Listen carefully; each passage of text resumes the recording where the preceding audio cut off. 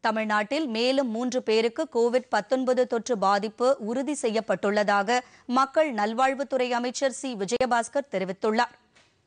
அவர் வெளியிட்டுள்ள டுவிட்டர் பதிவில் பதினெட்டு வயது இளைஞர் ஒருவர் சென்னை ராஜீவ்காந்தி அரசு மருத்துவமனையிலும் துபாயிலிருந்து திரும்பிய அறுபத்து மூன்று வயதான ஒருவர் ராணிப்பேட்டை மாவட்டம் வாலஜா மருத்துவமனையிலும் தாய்லாந்தை சேர்ந்தவர்களுடன் தொடர்பில் இருந்த அறுபத்து ஆறு வயதான ஒருவர் பெருந்துறை மருத்துவமனையிலும் தனிமைப்படுத்தப்பட்டு சிகிச்சை அளிக்கப்படுவதாகவும் அவர்களது உடல்நிலை சீராக உள்ளதாகவும் தெரிவித்துள்ளார்.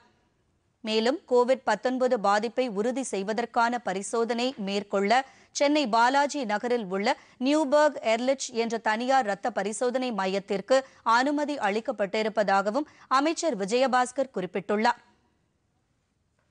இதனிடையே திருவள்ளூர் மாவட்டம் பூவிருந்தவல்லி பொது சுகாதார நிறுவனத்தில் அமைச்சர் விஜயபாஸ்கர் நேற்று திடீர் ஆய்வு மேற்கொண்டார்.